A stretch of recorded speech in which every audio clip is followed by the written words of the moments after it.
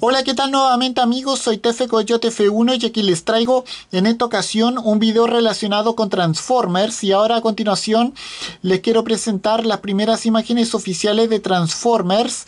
Eh, Transformers Legacy eh, Wall Rider y bueno, vamos a ver las imágenes. Bueno, bueno, acá podemos ver la parte frontal de la caja del empaque de este Wall Rider.